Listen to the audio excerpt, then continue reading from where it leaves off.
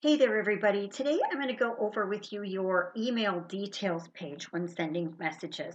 Um, this video picks up after the step where you've actually created the email, the email portion of your message. Okay, so we've got several different knowledge books pages and videos that cover different ways in which you can do that. Um, this is once you've clicked that save and continue button there um, and saved your, your message this is the page that that you're going to see.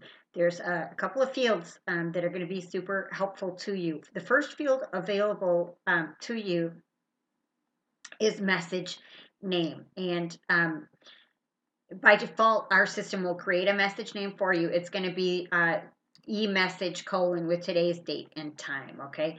Um, and that's it's going to appear in this field.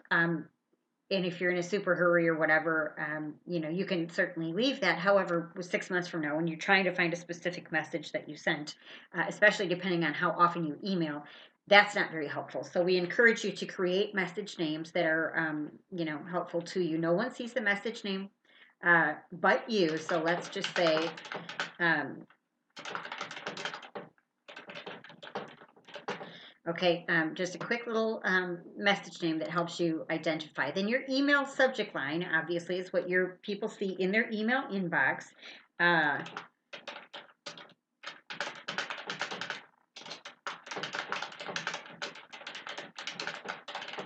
Okay, uh, keep it short and sweet. Don't bait and switch. Don't use all caps. Don't put a thousand exclamation points or other characters in there.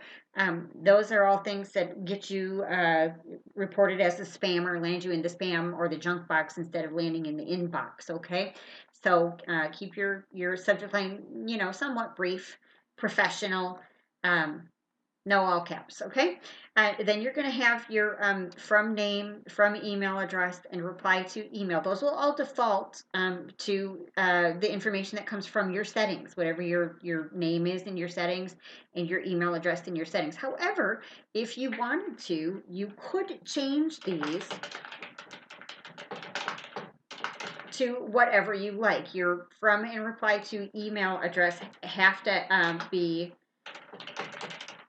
valid email addresses, okay? Um, but you are absolutely uh, able to update those, change those on a specific message by message basis if you want to, if you don't want them to uh, be from or reply to whatever comes from your settings. Okay, so um, once you've got this information um, all updated, um, then we're going to come down to the section, who do you want to receive this email? And then you'll see that you've got four different options. You can send your message to a group or groups. You could send to uh, individual contacts. Um, you can copy and paste contacts. You can send to everybody. So for your groups, um, you can uh, simply select a group here, use the right pointing arrow to move that group over to the right. Okay. You can select um, consecutive multiple groups with your shift or control keys um, and then just move those over.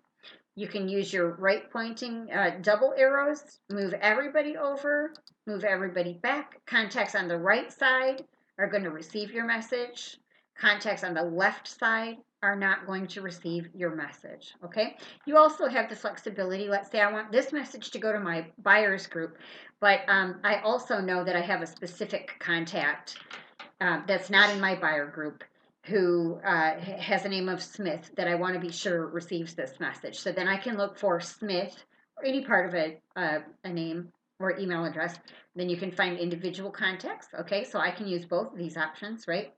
And then let's say I also met somebody at a networking event last night and um, I hadn't had time to put them into my uh, database yet. So I can either use my address book importer right now and go ahead and import those, or I can um, I can simply type in